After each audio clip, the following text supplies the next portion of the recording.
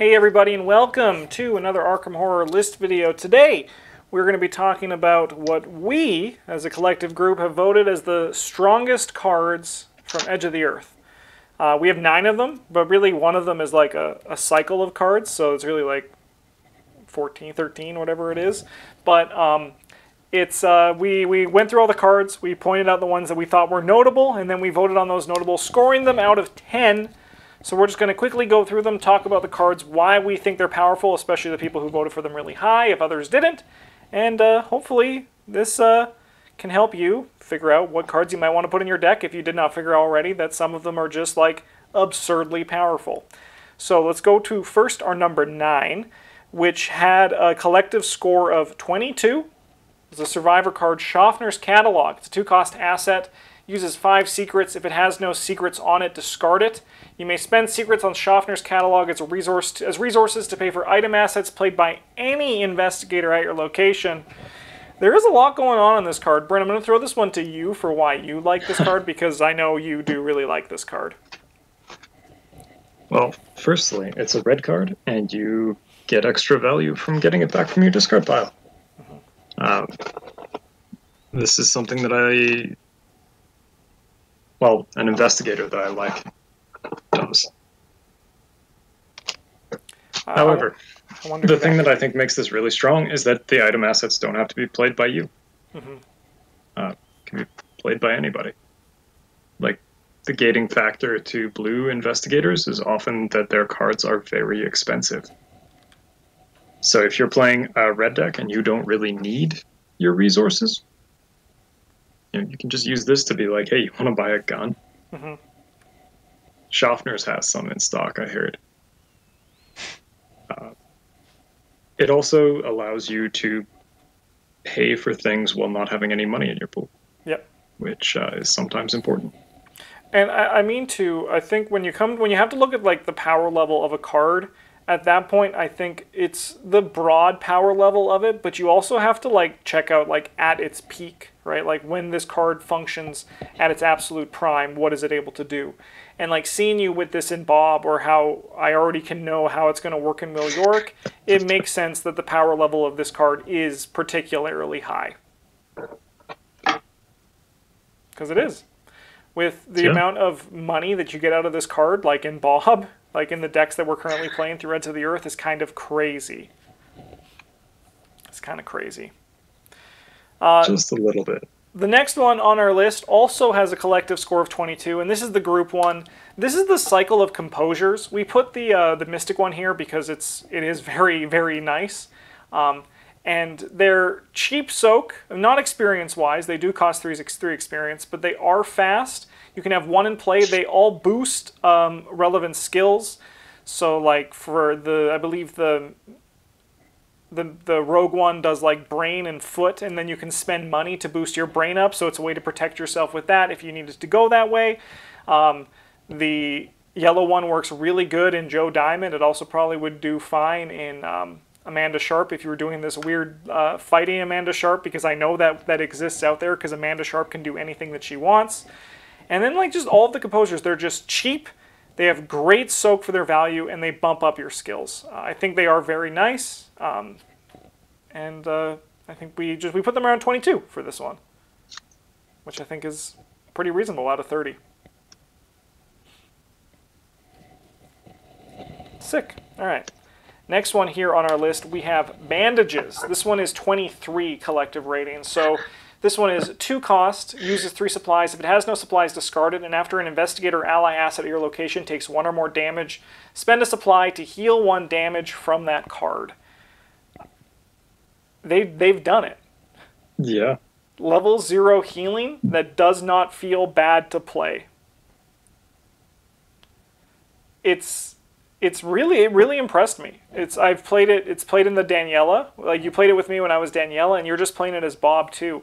It just passively solves problems, and then as well when you um, it, it works really good at just like dealing with those new injuries that we seem to be drawing a lot in our playthroughs of this. This is true. Um, when the weakness becomes take a damage, kind of doesn't matter anymore, right? Yeah, yeah. And this isn't even mentioning the recursion part of it as well, yeah. because that is very notable as part of Red's Pie, and uh, it just really you can if you can play multiples of these, it's just like just so good. Because also ally assets, that's huge. That's something that we can't overlook here, right? Mm-hmm. So now that yeah. if you get that on someone like a like a with a guard dog or a beat cop or a, or a Greta, right? Like it's just it improves it so much. Yeah, a huge part of what you're paying for on Greta is the discover clues bit. Yep. Uh, this is like to get another Greta's worth. Yes. Yeah. get another Greta. Yeah. Yeah. More Greta, please. Yeah. Wow and it's just at your location. So like even if like with Bob you have been spreading the love around, but even if you just have this and you're hanging out with someone, you can just passively just stop them from taking damage. It's kind of wild. Mm-hmm. Yeah, yeah. The reason I've been giving it away is mostly because uh, you know crypt chill effects exist. Yep. Yeah. Yeah, that's the. I remember and, with uh, the the Daniela one, you're like Justin only has a sledgehammer in play. I need to stop that. yes, Guess you better have this. Yeah, please discard this toilet paper so you don't discard your sledgehammer. All right, next one we got here on the list is the Archive of Conduits Gateway to Acheron. So we collectively rated this one 24 out of 30. It's a 4 cost, 4 experience. Takes up a smell, spell slot, not a smell slot. Commits for 2 book and a wild. Researched uses four ley lines, limit one per deck. As a lightning bolt, move one ley line uh, from this asset to a revealed location. As an action, choose an investigator in a revealed location with a ley line. That investigator moves to that location. You may remove that ley line to have them take an investigate action. Travis, uh, you've played with this one. Uh, yeah, this one's like its power levels a little dependent on what scenario you're playing, and you know you have to actually do the research thing, which is could be tough. Then you have to actually find the card, which isn't nearly as big a concern for yellow decks, but um, it's very, very powerful. You kind of just get to move people wherever you want. Yeah, and uh, it's kind of wild that that just like it's just something that you can just do, and then also just like you don't you don't have to remove the ley lines. So yeah, it just it's just a spot that you can just move people around on the map. Like they have to be revealed locations, but especially as as Travis said, scenario dependent. There are a lot of times when this can, when you know the scenario, you can really take advantage of that. Um, yeah, like for example, one of the best examples for any kind of movement effect is the asylum. Yes. There's gonna be some spoilers for if you haven't played it, but um, yeah, you just like have your your team can just be spread out doing whatever, and then you're like, boom, everyone's gonna be in the basement to check those out, and then everybody's gonna be in the yard, and we're gonna be gone. and and one thing that's also kind of nice too is that like if if there's like you really know a scenario and there's like a location that you know you need to get back to, you can leave a clue there and then just have someone go back and grab that when you move them back there later. Like even yourself, right? Just being like, I'm gonna come back here, last person who moves here, grab that ley line, we we're good to move out of here. It's mm-hmm. a, a nice little bit that could be relevant, but even without it, just moving people for like across the board is incredible. And it's just a revealed location. You don't even need to be on that location. Wow. Yep. It's also a lightning bolt to place it down. Yep. Place yep. the line. It's crazy. What a country. I want yeah. to go to Acheron. Sounds like a good time. Uh, next up here with a collective score of 25 we have Black Market. This is a one cost, two experience event. Play at the start of the investigation phase. It's fast. One at a time, reveal cards to the top of any investigator's decks until exactly five cards have been revealed. Set those cards aside out of play. While set aside, any investigator may play any of those cards as if they were in their hand. At the start of the next investigation phase, shuffle each of those cards still set aside into its owner's deck. Bryn, I'll throw this one to you. Yeah, so uh, this this card is basically one cost fast, fix your mulligan. Mm-hmm. Uh, it's pretty close to what it does. You then that's you know overlooking the. Uh, some investigators are gated by the fact they're not meant to have access to something. And with uh, with black market, you can just be like, "Do you want to buy this kid?" it's a gun? Question mark. you know, whatever, whatever, whatever it might be, because it doesn't even have to be your deck, right? So you can you can pull things off of somebody else's deck and then be like, hey, this guy this guy's got a sweet gun. Uh-huh. You have a good fight score. You can't play gun because reason. Why not have this? Yeah, this I remember when we were first talking about this card in our preliminary thoughts, we all were kind of like, this card is just like a meme, right? We were like, buy cards. It's like the you owe me one. It's just the the funny thing you can do to buy cards from other people or sell your cards to other people in a way. But it really is just like five extra cards that everyone gets mm-hmm. to play with this turn, which yeah. can be good. I, I don't think notably we've had any black markets in our playthroughs that have been like particularly like game changing. No. But with our ratings, Travis and I each gave it a seven, which I think is still pretty. Bryn gave it a nine. He he he. I'm pretty high. Yeah, but he I, preemptively tried to offset my rating, and I gave it a fair rating. the system's corrupt. um, but yeah, I think like the card is just like it is much better than I thought, and I do think it is a strong card in the set. Uh, next up, we're going to keep it going. I know a lot of you guys at home are going to be happy about this one. At 25 points, Tick Tock. It's the red clock. Two cost, five experience, commits for two wilds. It's exceptional, so it's actually 10 experience. Uses four charges, and at the beginning of your turn, it's forced. You may take all charges here as resources and then place one charge here. If it is exactly one charge, you get plus four skill value for your next skill test. Two charges, you may move up to three times. Three charges, you may take two additional actions this turn, and it takes your accessory slot. So Bryn, I'm going to throw this one to you again because it's a green card. And you also uh, did rate this one the highest with a 10. Uh, yeah, I mean, like, part of that was meme because it costs 10. Yeah. uh, but I think this card is very strong. Even if all you're doing with it is extra resource every turn, my first action is sick. Mm-hmm. You could be Preston Fairmont and your first action is still kind of sick. The other options on the card are like not quite so good because you have to forego the resource and make your way through the move up to two times or three times. But if you want to move at least twice, this is still very powerful. Yeah, it and, is. Uh, yeah, you don't need me to explain why two extra actions this turn is good. Yeah, it's um, it's one of those things too that like um, there might like when you play the clock, it just starts ticking, right? So like it's very hard to be like next turn I want to move three times, right?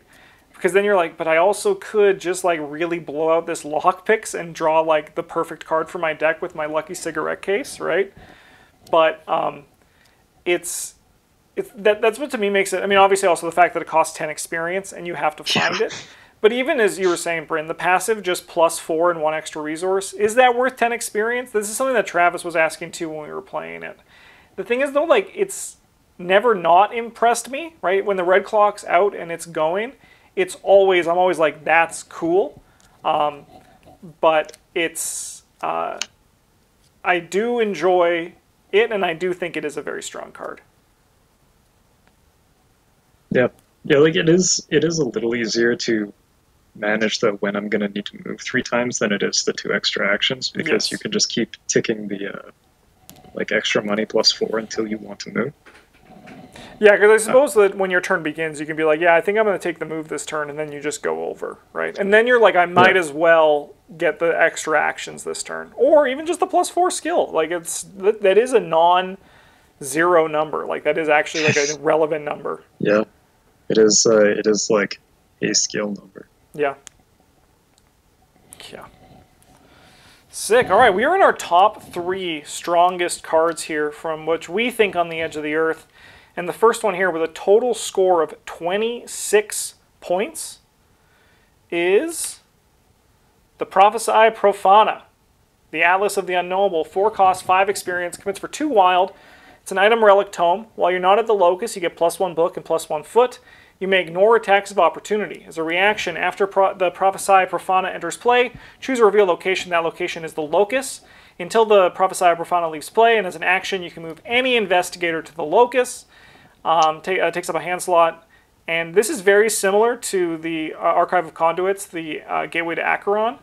Uh, it does give you plus one book and plus one foot, and you may ignore attacks of opportunity. When you have this card out, you're kind of just like set. It's especially like if, if it's if it's a yellow investigator, because obviously you need to be yellow to play it.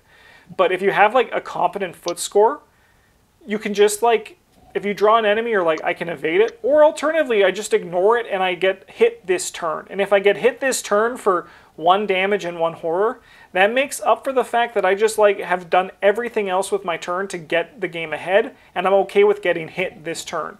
Like it basically just like you can grab an enemy, have that enemy, and be like, it's okay, it's gonna hang out, or you even like grab your clues and then move to your fighter, and you've not taken any attacks of opportunity. It's the text that's like the least exciting on the card, but it is incredibly relevant more than you think. This also has the same text as the uh, Archive of the Conduits, which you can move any investigator to the locus. So you only have one location for this one, unlike the Archive of Conduits, so you don't get to have uh, four potential places to move, which is notable. But still, just likewise with that one, being able to move someone somewhere is very strong. There is awkward moments where you're at the locus and then you have like a wet fart sound because you're like, ah, I don't get my bonus. But even then, Card's crazy. Also very easy to find with Research Librarian. It's just like play Research Librarian, draw your Prophesiae Profana. Kind of wild. Next one here with 27 total points, which is like getting close. This one we all gave it a 9. This is Janae Beauregard. She's a 5 cost ally, 3 experience, commits for a book and a foot, soaks for 2 and 2, and you get plus 1 book and plus 1 foot. During your turn, after you move to a location, exhaust Janae Beauregard, move a clue or a non-elite enemy from a connecting location to your location, location or vice versa. to be honest, stuff you probably shouldn't be able to. Yeah, this I don't know why this card came out as it did. It's just the moving an enemy is like no. Moving a clue, that's fine. Like that that that can happen. But the moving an enemy just to me is like like why? At least they remember to put non-elite on it. That is true. That is true. Can you imagine just sending like Silas Bishop to another room? He's like, but no. Day one errata, baby. yeah, it's Janae breaks a lot of things, in like not a way that it's like notable, notably broken, but you just accrue so much advantage out of her that it's kind of just nuts. Mm-hmm. Yeah, being able to control where the I don't want to say resources because enemies aren't resources, but like the objects of the game are is incredibly powerful. Yep. Mm-hmm. And like even just like a small thing where a lot of lo- victory locations have like a stipulation to investigate or like a punishment to investigate or a high shroud. And then if there's one clue left you just move and take that clue with you. Yuck. Yeah. And then she also gives you a book and a foot for it. Just in case. Just in case just in case you needed it. All right. We are on to our number one card which uh, also had a score of 27, um, but it did have two tens, so you know that's pretty spicy. Uh, I'm sure people watching at home can probably guess what it is. We have the Cyclopean Hammer. This is a 5 cost, 5 experience asset. Takes up both hand slots. Item, relic, weapon, melee. Commits for brain, brain, book, book. As an action fight. Add your brain to your skill value for this attack. The dog downstairs is barking because they're so hyped about this card. You deal plus one damage for this attack. If you succeed and the enemy is non-elite, you may move it one location away from you. If you succeed by three or more, you instead deal plus two damage and may move the enemy up to two locations away from you. Um, you know, this card, I'm I've played with it once, and I'm probably gonna never play with it again because it's just kind of like boring how powerful it is. It's just big numbers, lots of damage, and you rarely, if ever, actually want to move something. If it forced you to move things, I think that would notably bring the power level down a good chunk. But because you don't have to, and most of the enemies that you're going to kill have 3 health and are dead before that even happens, right? Like the difference between knocking an enemy a location away and not means that like you can just like keep whacking. As soon as you start to have to knock something away and it can come back or you knock it to someone else who can't handle it, the weapon becomes a little bit more interesting because there's kind of like a risk reward with it. But right now it's just reward. It's just make your number big, put an enchant weapon on this and deal 4 damage. Add your brain twice. Why not? Let's fricking do it, right? I just think the cards, it's very strong. Like, it's very strong. It's just kind of like dull. Well, it is a hammer. It is a hammer. It is a hammer. That is true. I was waiting for you to say that. yeah, because Travis, you're playing this in Lily right now, and is like, is it just kind of the same kind of thought? It's just hit with stick. Yeah, I mean, like I'm doing something a little more interesting with it, but yeah. yeah, well, yeah, you have the the combo. Yeah. Yeah. Yeah and lots like, of combos in that deck. And like that's what makes it like the, the that's the part of that combo is the movement part of it, right? And I think that should be forced just because, you know, you're hitting someone so hard they should go flying. Yeah. Yes, fair. Well, I think that's it. That's our last one. Those were what we thought were the strongest cards from Edge of the Earth.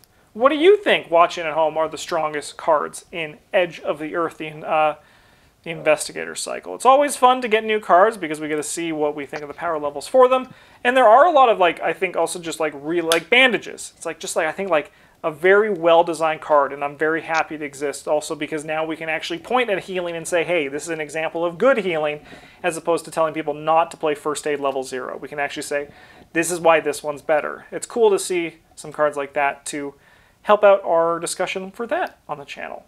Uh, thanks for watching. Have a good one. And as always, GG's.